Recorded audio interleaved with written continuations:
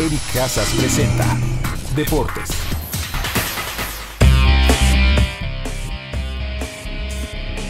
Muy buenos días Carmen, buenos días auditorio. Esta es la información deportiva.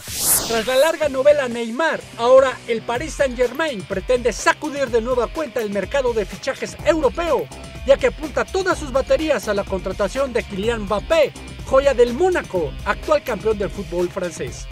Según medios galos, el club parisino hará una oferta a los monegascos en el orden de los 155 millones de euros, alrededor de 181 millones de dólares, por el delantero de 18 años.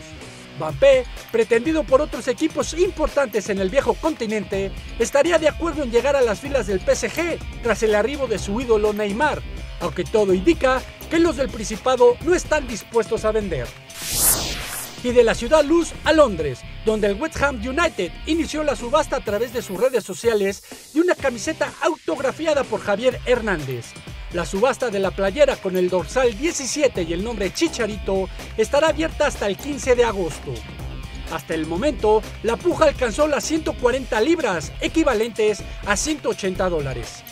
El delantero tapatío firmó por las siguientes tres temporadas con los Hammers, su segundo equipo en la Liga Premier tras su paso por el Manchester United.